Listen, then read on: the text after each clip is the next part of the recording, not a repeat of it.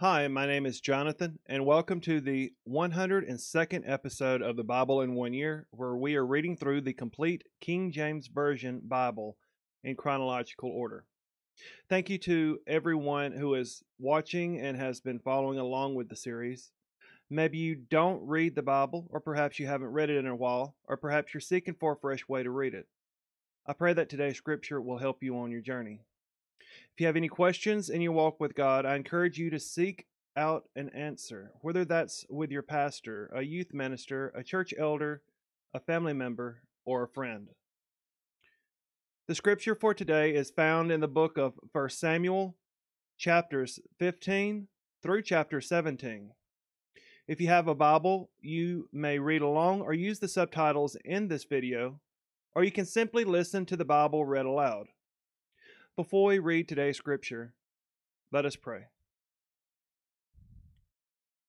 Dear Lord and Heavenly Father, we have gathered today to share, read, and hear your word. We ask that you open our hearts and our minds as we turn to your word. And with help of the Holy Ghost in prayer, let it become alive in our minds, let it minister to our souls, and let it be reflected to others through our lives. Lord, we humbly ask that you open our eyes to the significance, the wisdom, and the knowledge contained. In Jesus' name we pray. Amen. If you have your Bible, please turn with me to 1 Samuel chapter 15, and let's begin reading from verse 1. Samuel also said unto Saul, The Lord sent me to anoint thee to be king over his people, over Israel. Now therefore hearken thou unto the voice of the words of the Lord. Thus saith the Lord of hosts, I remember that when Amalek did which Amalek did to Egypt, now he laid wait for him in the way, when he came up from Egypt. Now go and smite Amalek, and utterly destroy all that they have, and spare them not. But slay both men and women, infant and suckling, ox and sheep, camel and ass. And Saul gathered the people together and numbered them in Telaim, two hundred thousand footmen, and ten thousand men of Judah.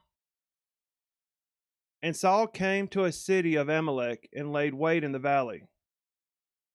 And Saul said unto the Kenites, Go, depart, get you down from among the Amalekites, lest I destroy you with them.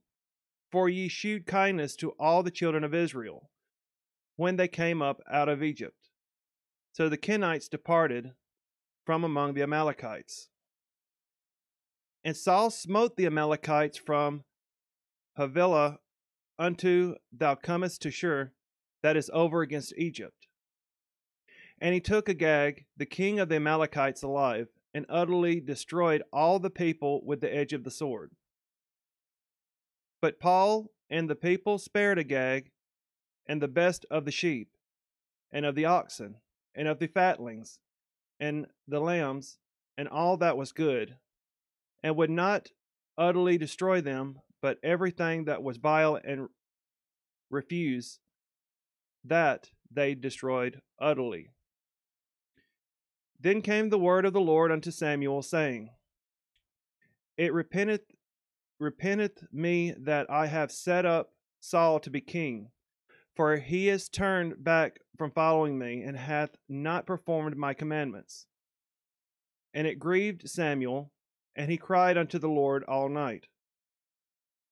And when Samuel rose early to meet Saul in the morning, it was told Samuel, saying, Saul came to Carmel, and behold, he set him up a place, and is gone about, and passed on, and gone down to Gilgal.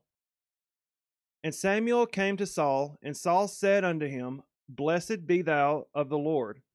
I have performed the commandment of the Lord. And Samuel said, what meaneth then this bleating of the sheep in mine ears? and the lowing of the oxen which I hear.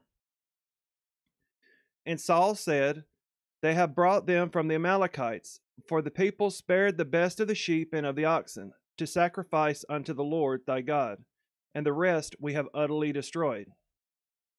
Then Samuel said unto Saul, Stay, and I will tell thee what the Lord hath said to me this night. And he said unto him, Say on. And Samuel said, When thou wast little in thine own sight, wast thou not made the head of the tribes of Israel? And the Lord anointed thee king over Israel. And the Lord sent thee on a journey, and said, Go and utterly destroy the sinners, the Amalekites, and fight against them until they be consumed. Wherefore then didst thou not obey the voice of the Lord, but didst fly upon the spoil, and didst evil in the sight of the Lord?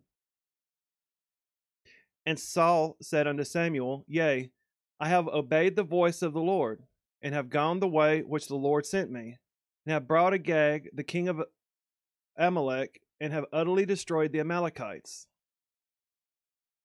But the people took of the spoil sheep and oxen, the chief of the things which would have been utterly destroyed, to sacrifice unto the Lord thy God in Gilgal. And Samuel said, Hath the Lord as great delight in burnt offerings and sacrifices as in obeying the voice of the Lord?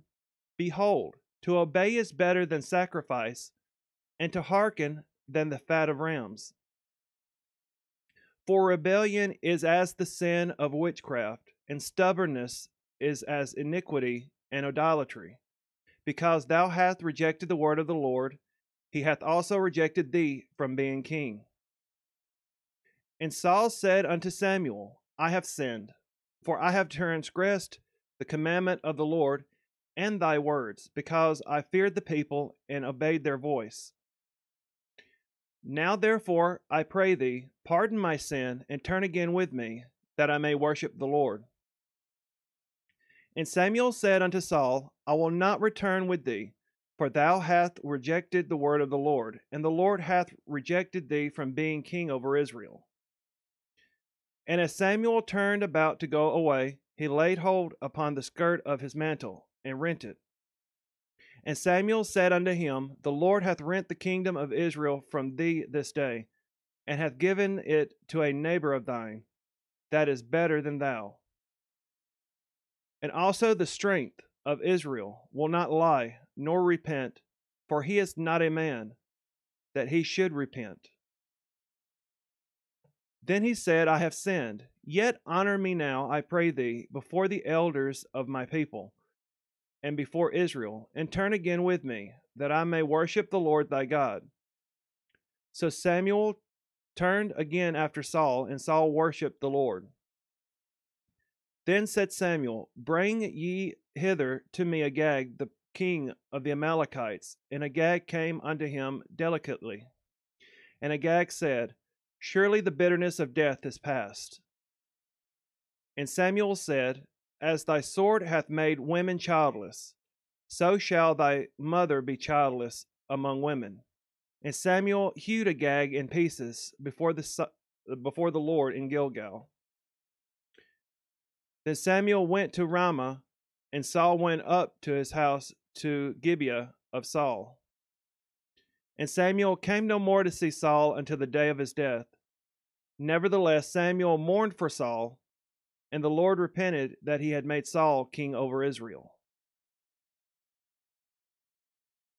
And the Lord said unto Samuel, How long wilt thou mourn for Saul, seeing I have re- rejected him from reigning over Israel? Fill thine horn with oil, and go. I will send thee to Jesse the Bethlehemite, for I have provided me a king among his sons. And Samuel said, How can I go? If Saul hear it, he will kill me. And the Lord said, Take an heifer with thee, and say, I am come to sacrifice to the Lord. And call Jesse to the sacrifice, and I will shew thee what thou shalt do. And thou shalt anoint unto me him whom I name unto thee. And Samuel did that which the Lord spake, and came to Bethlehem. And the elders of the town trembled at his coming, and said, Comest thou peaceably? And he said, Peaceably. I am come to sacrifice unto the Lord. Sanctify yourselves and come with me to the sacrifice. And he sanctified Jesse and his sons and called them to the sacrifice. And it came to pass when they were come that he looked on Eliab and said, Surely the Lord's anointed is before him. But the Lord said unto Samuel, Look not on his countenance, or on the height of his stature, because I have refused him. For the Lord seeth not as man seeth, for man looketh on the outward appearance, but the Lord looketh on the heart. Then Jesse called Abinadab, and made him pass before Samuel. And he said, Neither hath the Lord chosen this. Then Jesse made Shammah to pass by, and he said, Neither hath the Lord chosen this. Again, Jesse made seven of his sons to pass before Samuel. And Samuel said unto Jesse, The Lord hath not chosen this, uh, these. And Samuel said unto Jesse, Are here all thy children? And he said, There remaineth yet the youngest, and, behold, he keepeth the sheep. And Samuel said unto Jesse, Send and fetch him, for we will not sit down till he come hither. And he sent and brought him in. Now he was ruddy, and withal of a beautiful countenance, and goodly to look to. And the Lord said, Arise, anoint him, for this is he. Then Samuel took the horn of oil, and anointed him in the midst of his brethren. And the Spirit of the Lord came upon David from that day forward. So Samuel rose up and went to Ramah. But the Spirit of the Lord departed from Saul, and an evil spirit from the Lord troubled him. And Saul's servant said unto him, Behold, now an evil spirit from God troubleth thee. Let our Lord now command thy servants, which are before thee, to seek out a man who is a cunning player on an harp. And it shall come to pass, when the evil spirit from God is upon thee, that he shall play with his hand and thou shalt be well. And Saul said unto his servants, Provide me now a man that can play well, and bring him to me. Then answered one of the servants and said, Behold, I have seen a son of Jesse the Bethlehemite that is cunning in playing, and a mighty valiant man, and a man of war, and prudent in manners, uh, matters, and a comely person, and the Lord is with him. Wherefore Saul sent messengers unto Jesse and said, Send me David thy son, which is with the sheep. And Jesse took an ass laden with bread and a bottle of wine and a kid, and sent them by David his son unto Saul. And David said to uh, came to Saul and stood before him, and he loved him greatly, and he became his armor bearer. And Saul sent to Jesse, saying, Let David, I pray thee, stand before me, for he hath found favor in my sight.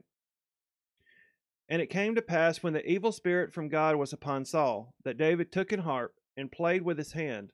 So Saul was refreshed and was well, and the evil spirit departed from him. Now the Philistines gathered together their armies to battle, and were gathered together at Succoth, which belongeth to Judah, and pitched between Succoth and Azekah in Ephesdammim. And Saul and the men of Israel were gathered together and pitched by the valley of Elah, and set the battle in array against the Philistines. And the Philistines stood on a mountain on one on the one side, and Israel stood on a mountain on the other side and there was a valley between them. And there went out a champion out of the camp of the Philistines named Goliath of Gath, whose height was six cubits and a span. And he had an helmet of brass upon his head, and he was armed with a coat of mail.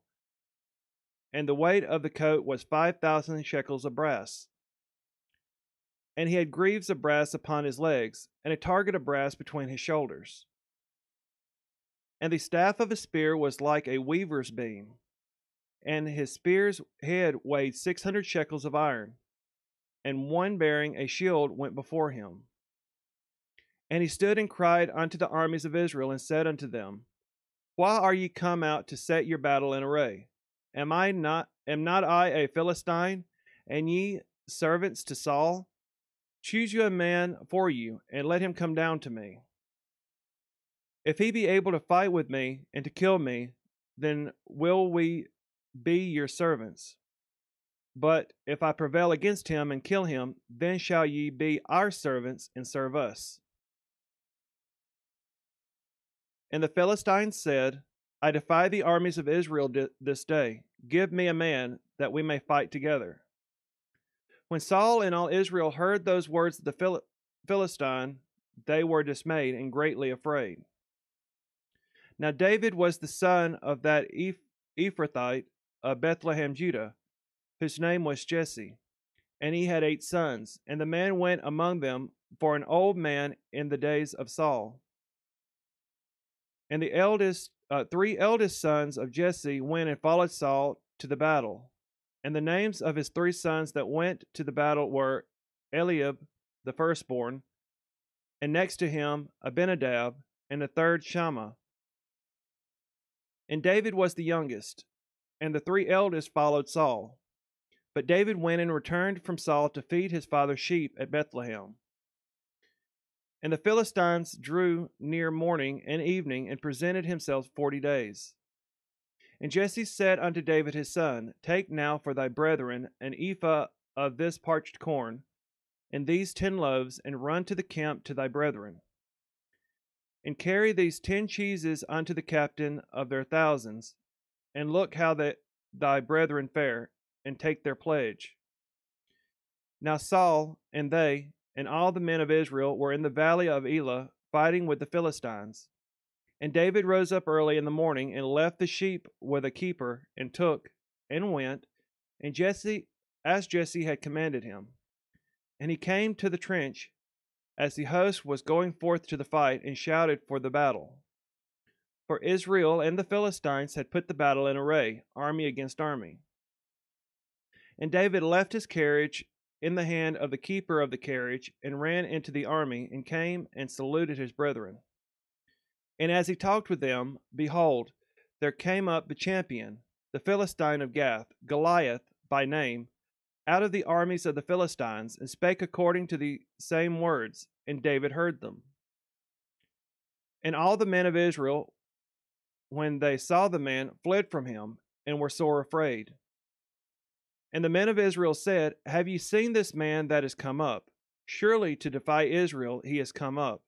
And it shall be that the man who killeth him, the king will enrich him with great riches, and will give him his daughter, and make his father's house free in Israel.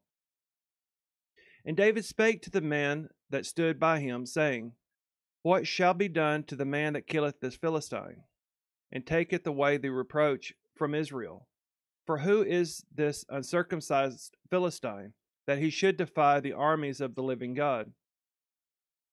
And the people answered him after this manner, saying, So shall it be done to the man that killeth him. And Eliab his eldest brother heard when he spake unto the men, and Eliab's anger was kindled against David. And he said, Why camest thou down hither? And with whom hast thou left those few sheep in the wilderness?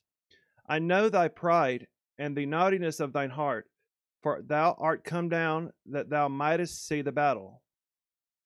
And David said, What have I now done? Is there not a cause? And he turned from him toward another, and spake after the same manner. And the people answered him again after the former manner. And when the words were heard which David spake, they rehearsed them before Saul, and he sent for him. And David said to Saul, Let no man's heart fail because of him. Thy servant will go and fight with this Philistine. And Saul said to David, Thou art not able to go against the Philistine to fight with him, for thou art but a youth, and he a man of war from his youth. And David said unto Saul, Thy servant keep his father's sheep. And there came a lion and a bear, and took a lamb out of the flock. And I went after him, went out after him, and smote him, and delivered it out of his mouth. And when he arose against me, I caught him by his beard, and smote him, and slew him. Thy servant slew both the lion and the bear, and this uncircumcised Philistine shall be as one of them, seeing he hath defied the armies of the living God. David said, moreover, The Lord that delivered me out of the paw of the lion and out of the paw of the bear, he will deliver me out of the hand of this Philistine. And Saul said unto David, Go, and the Lord be with thee. And Saul armed David with his armor, and he put his helmet of brass upon his head. Also he armed him with a coat of mail. And David girded his sword upon his armor, as he essayed to go, for he had not proved it. And David said unto Saul, I cannot go with these, for I have not proved them. And David put them off him. And he took his staff in his hand, and chose him five smooth stones out of the brook, and put them in a shepherd's bag which he had, even in a script, and his sling was in his hand. And he drew near to the Philistine. And the Philistine came on and drew near unto David. And the man that bare the shield went before him. And when the Philistine looked about and saw David, he disdained him, for he was but a youth, and ruddy, and of fair countenance. And the Philistine said unto David, Am I a dog that thou comest to me with staves? And the Philistine cursed David by his gods. And the Philistine said unto David, Come to me, and I will give thy flesh unto the fowls of the air, and to the beasts of the field. Then said David to the Philistine, Thou comest to me with a sword, and with a spear, and with a shield. But I come to thee in the name of the Lord of hosts, the God of the armies of Israel, whom thou hast defied. This day will the Lord deliver thee into mine hand, and I will smite thee, and take thine head from thee, and I will give the carcasses carcasses of the host of the Philistines this day unto the fowls of the air, and to the wild beasts of the earth, that all the earth may know that there is a God in Israel. And all this assembly shall know that the Lord saveth not with a sword and spear, for the battle is the Lord's, and he will give you into our hands. And it shall come and it came to pass when the Philistine arose and came and drew nigh to meet David, that David hasted and ran toward the army to meet the Philistine. And David put his hand in his bag and took thence a stone and slang it, and smote the Philistine in his forehead, and the stone sunk into his forehead, and he fell upon upon his face to the earth. So David prevailed over the Philistine with a sling and with a stone, and smote the Philistine, and slew him. But there was no sword in the hand of David. Therefore David ran and stood upon the Philistine, and took his sword, and drew it out of the sheath thereof, and slew him, and cut off his head therewith. And when the Philistines saw their champion was dead, they fled. And the men of Israel and of Judah arose and shouted, and pursued the Philistines, until thou came to the valley, and to the gates of Ekron. And the wounded of the Philistines fell down by the way to Shaaraim, even unto Gath, and unto Ekron. And the children of Israel returned from chasing after the Philistines, and they spoiled their tents. And David took the head of the Philistine and brought it to Jerusalem, but he put the armor in his tent. And when Saul saw David go forth against the Philistine, he said unto Abner, the captain of the host, Abner, whose son is this youth? And Abner said, As thy soul liveth, O king, I cannot tell. And the king said, Inquire thou whose son the stripling is. And as David returned from the slaughter of the Philistine, Abner took him and brought him before Saul with the head of the Philistine in his hand. And Saul said to him, Whose son art thou, thou young man? And David answered, I am the son of thy servant Jesse, the Bethlehemite.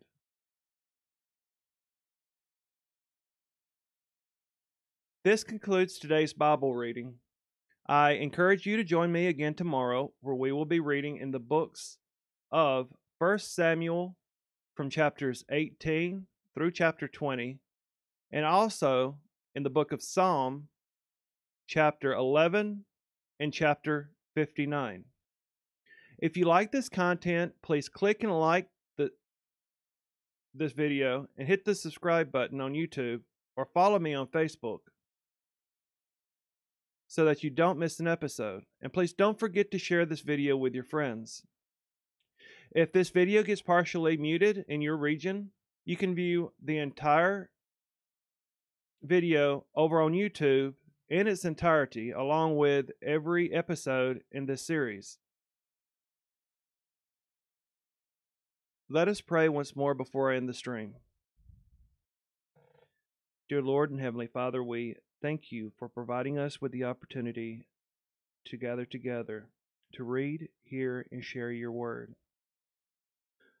Lord, continue to remind us of your word throughout our day and help us to apply it to our lives.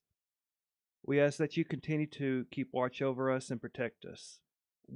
We entrust our lives to you to direct, use, and guide as it is your will. Lord, we have unfailing faith in you, knowing that you are with us and knowing that you will meet our needs. Lord, we thank you for this day and all the blessings around us, for the unseen work that you're doing now in our lives and the lives of others, and for what you have in store for us in the future. Lord, help us to share the love and patience that you show us every day with others. We pray that your will, not ours, be done. Lord, let your presence be manifest in the lives of our family, our friends, our co-workers, as well as our lives. In the name of Jesus we pray. Amen.